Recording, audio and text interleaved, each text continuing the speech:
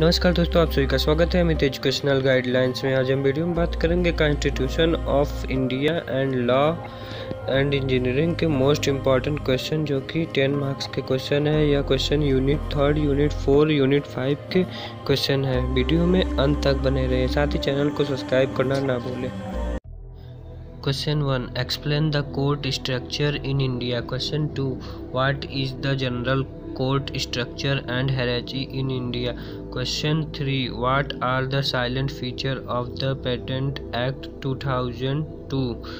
Uh, question 4 describe information technology act 2000 question 5 what are the objective of the right to information act 2005 question six what do you mean by e governance what are the types of e governance question seven what is companies act two thousand thirteen what are the silent feature of the companies act two thousand thirteen video अच्छी लगी दोस्तों channel को like subscribe share and comments धन्यवाद।